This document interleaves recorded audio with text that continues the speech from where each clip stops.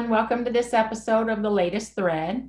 Um, so, this week we decided to do something kind of a little bit different. We don't have an like a, a real topic, but we thought it might be fun, you know, especially being the first episode of the new year to kind of catch up because I think even us, we've been doing our own thing for a few weeks and kind of, you know, haven't been working a lot.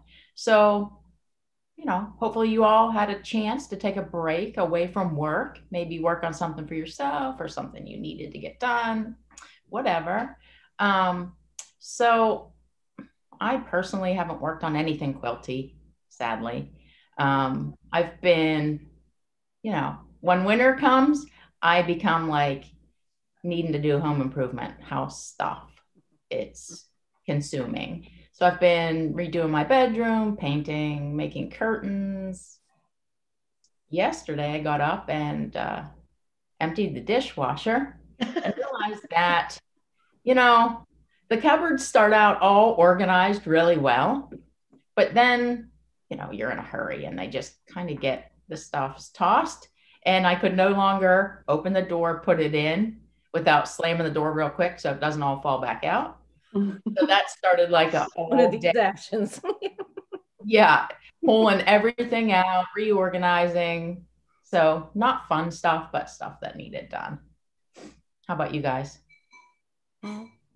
very quilty I'll go next. I have props. Yeah. um, I am actually working on a real a bed quilt.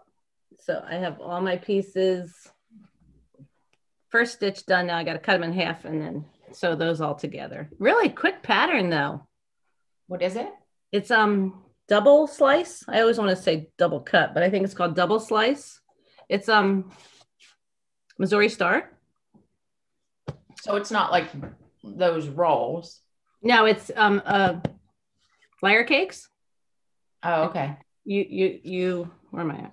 You cut off like three and a half inches and you mix them all up and you sew those two together and then you turn it this way and cut it in half and then mix them up and flip one and sew all those together. So it it's like mindless sewing. And I really needed some mindless sewing after sitting sitting with my ankle. I needed mindless sewing. So and this is the only other thing I'm working on, which is an embroidery, which I started. Yeah, well, there's going to be like four more of them. I started this when I was stuck sitting from my ankle. So, but it's pretty. Are, are you using uh, parts of your mandala for that? Um, no, this is just one that I hand drew but I could have used my mandalas for this. I didn't even think about that. I was just sitting there, so I drew one up and made it. Is it going to go into a quilt? Yeah, this this I think there'll be four of these, and then I'll make a real pretty center one. So nice, nice. Yeah, so that's what I'm working on. So I've not been working on anything quilty at this particular moment. I moved a couple months ago, and like Jody, I need to do some home stuff while it's cold outside. Um, I thought I'd do the, the, the good deed on lining cabinets. You know, after I moved everything in, all the dishes, you know, at the time I was in a hurry, I thought now it's time to take everything back out and line the shelves, that kind of stuff. Um, I have a lot of blank walls.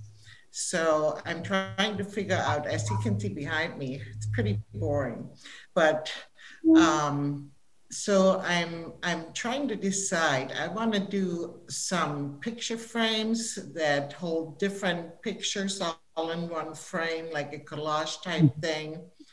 Um, so maybe work on a whole cloth to put on a couple of the walls, that kind of thing. It's really hard to decide um, I moved into an old house, so I have to be careful because some of the walls are actually plaster. Mm-hmm. So you banging into wall. Yeah, one little nail hole turns out to be like this. so, you know, home improvement kind of thing. It's kind of nice. Uh, my daughter gave me a scan and cut for Christmas. Ooh. So I'm working on a few things. Yeah, I guess it's Christmassy, but no, it's wintry. It's kind of fun to work on some other things other than quilting, take a little break. Um, but I'm hoping um, I have a lot of cork fabric, so I'm going to see if I can cut out some applique shape with the scan and cut out of the cork to be used for an applique kind of project. So nothing specific, all over the place. all right, Sharon, what about you? What are you working on? Well, uh, it's always super busy for us heading up until Christmas with customer quilts to get them finished for customers. So um, it's been a really nice, relaxing couple of weeks with kids and binge watching some Netflix shows and working on puzzles. I love doing puzzles. Um, and actually sewing. There's a couple times a week that some friends and I get together and we just sit and sew and work on projects and we we gab and um, it motivate each other and so it's kind of fun. So one of the blocks I'm working on is this one right here. And I have nine uh, or eight other colors to make the same block from the colors that are inside that light print there. So I have that one. And then I have another quilt that I'm working on that I have all of the piece blocks done. It's a sampler quilt, but there's um plain alternate blocks. So I have this little, this is a, a half inch finish, this little strip, and then I've got a black to go around it. And so those will be my alternate blocks for my pieced quilt. And so it's kind of nice to use the holidays to, to actually sew a little bit, right? I'll, I'll stick to my mindless sew. well, the problem is, is that when I when I sew with my friends on Zoom, um, you're not always 100% focused, and I make a ton of mistakes. Oh So- yeah. I try to get my like cutting and prep stuff done. It's like before you go to retreat, right? If you can get a whole bunch of the stuff you have to pay attention to, like the cutting and prep done, and then you can just sit and sew, and then it's not so risky. Yeah. Yeah. But new custom things in the works for all of us, I'm sure, soon. Mhm. Here has started. When we have to go back to work. Mhm. I have one other thing, but I'm not working on it yet. But it's all Jody's fault. You're welcome. But it's gonna be awesome. I'll, sh- I'll show you now because it'll be the before. So I got this panel. Ooh, nice. Isn't that nice? And It's like it almost looks like um alcohol ink on something. So I'm gonna quilt this and thanks. hopefully And next did you see? I saw somebody post um, somewhere. uh, I don't know where. Apparently, there's a wide back. That was me. Oh, was it you? Oh, it was Yeah. you. Yeah. I didn't see Yeah. that. That would be like you could put a giant border around it with that. Like make it a bed quilt. Yeah. What is it? yeah. it? It was just a big extra wide back, and it's just that exactly that. There was no deer on it, but it was all like mountains and trees, and it, it just looked like watercolor splotches all over it. Really? Yeah, like it, all same colors and everything. Do you have a selvage edge on that? Stalk your pit, huh? Do you have a selvage edge on that?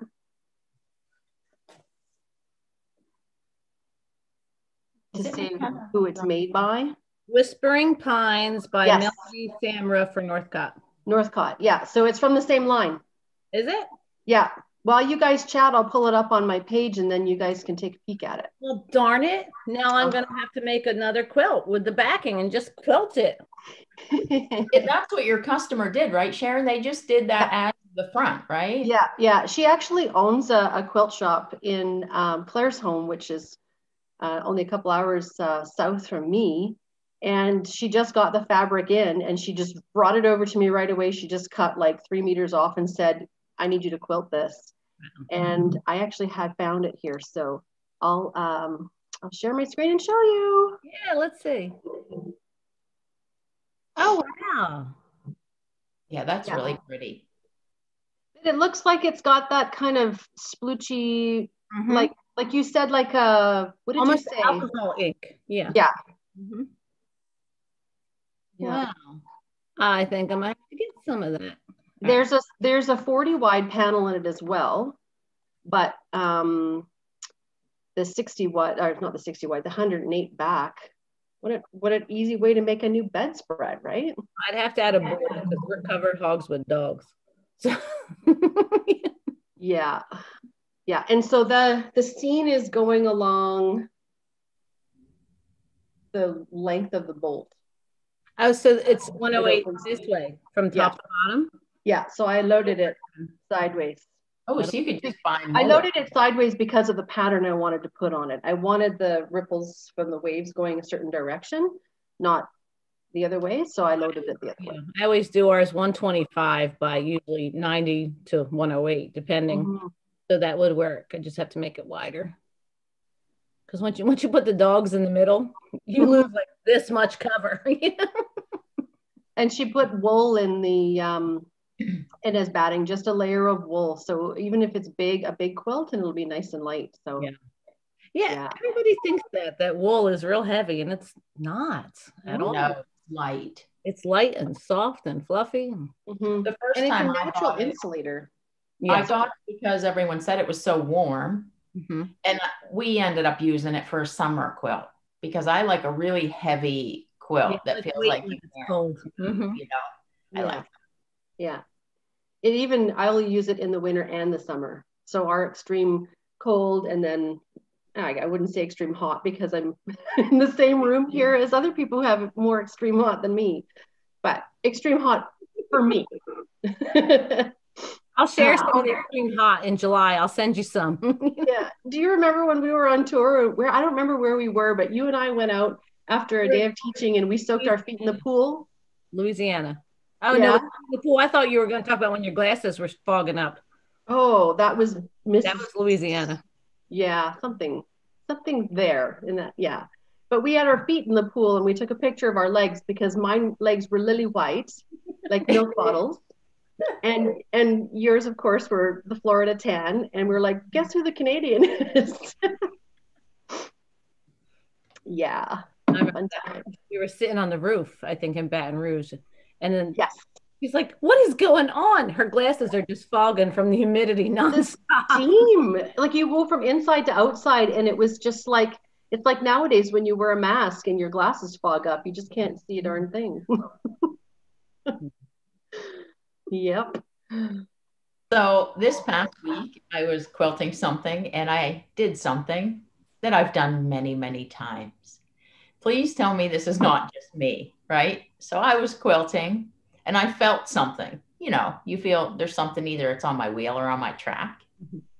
Do you think I stopped to see what it was? Nope. I was like, no, it's like right in there. So I'll just brace for it every time. I feel like You know right where it's coming, and you're like, instead of going around there and just seeing what it was because i like i didn't feel like it we we are too lazy. I think We're, we just want we don't want to stop to No, go. but we think we can muscle through it. We'll get it later. It's and okay. usually you kind of can't i mean kind of Your mind goes. "Mm, Is that the equivalent to that little thing, that little thread or something on the carpet and you're vacuuming and you can't get it? So you just keep going over it and Yeah, over you don't it Yeah. stop. and and over get it down. instead of just stopping and picking it up. Yep. yep. Oh my probably the same as the rotary blade like i'll make two passes i have a whole thing of new blades but mm, i don't want to You have to Wanna stop. use them. You're in that moment of of thought or creativity or whatever, and if you have to stop, go get the new blade, come back. It might pass. So you can't let it pass. well and the longer you wait when you do finally change it it's like Oh. my gosh this is amazing It is. one pass Why did I wait so long? We were at retreat once and my friend put a new blade in and she cut all of the fabric for an entire quilt. I think she must have been cutting for like two hours or something. And she didn't realize it, but she had two blades in instead of one. So uh-huh. every cut, every cut she made, there was a tiny little pithy row of Fringe. fabric dust, fabric pith, right? and and she was like this fabric is garbage. She was like i don't know where i got this fabric from but it's garbage. Look at it. It's like linting everywhere all over my board. And i come over and look and i look at her blade and i'm like dude you have two blades in here. Wanted to cut doubles fast. She cut out a whole quilt like that. Wow. Yep. Craziness i'll have some funny stories I think we all have funny stories. I miss uh, going to a retreat. Yeah. And I we, we used to go for a few years with another group of ladies, and it was so much fun. Didn't always get a lot of sewing done, but yeah, just being together. And we were really lucky. We stayed in this house and one of the ladies she owned a deli. So she literally brought all the food for us for the whole four days we were there. And she just wanted a small fee you know for bringing the stuff. But not only did she bring all of it she insisted on preparing every meal with the things that she had brought. We were truly spoiled yeah because it was I, nice it had a bell ava's gonna we sat on the me all all night drinking wine, yakking. It was fun. That would be me at retreat. I would not sew. I would just sit and do nothing. It's like I sew every day. Why would I want to sew? This is like vacation. Okay. it's always for me. It's I went to the same one with Ava, and it's one or the other. So I either go there with like a mission, and I work really hard the whole time because I don't, I can't do that at home, or I go there and do nothing. Nothing. And honestly, those ones were the best. Yeah, I brought all that sewing stuff and set it up. But yeah, just sitting outside and hanging out was probably, you know, a better retreat, actually, I guess. Yeah. Well, you got to do whatever it is you need to recharge. And if you that's what you feel like doing. Yeah. Yeah. Yeah someday we'll all be able to go on retreats again, right? Mm-hmm. Everybody's missing it so much. Yeah. Not, not the retreat to the kitchen or the retreat to the living room. We want to like go out the front door. yeah. Yeah. Okay. Agreed. So sounds like we've all been busy. And um, we look forward to the next episode where we will go back to having some sort of a topic. Um, it'd be really great for us if y'all could maybe suggest some topics. Um, we'd love to hear what you'd like to hear us talk about. So we will see you next time. Bye. Bye.